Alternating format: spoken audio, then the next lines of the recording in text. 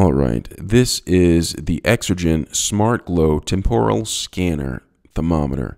And today I'm going to show you how to replace the battery on this device. All right, so right here I have the device standing up. Actually, it's in my hand. And what I'm going to do is I'm going to flip it over to the back side. And there is this cap on here, and there's some nubs that are sticking up. And so what I'm going to do is I'm going to take my finger and press down on the nubs and slide it down. All right, so let me go ahead and do that. So I'm going to take my finger, press down on the nubs, slide it down, and it, it exposes it to the battery, which is on the back. And so what I'm going to do is I'm going to take the battery. You can either come to the bottom and press up on the battery like this, and it comes up. Let's see. Comes up. All right. And then take it out, discard of it, and then come in with a new battery all right.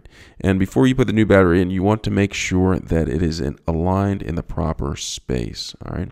So as you can see right here, it says the plus right here, and that's for the positive, and there is a minus for the negative. So you have to align them up accordingly. So I'm going to take the battery, and if you look right here, it says the, the positive is on this side, and the negative is on that side. So I'm just going to line it back up.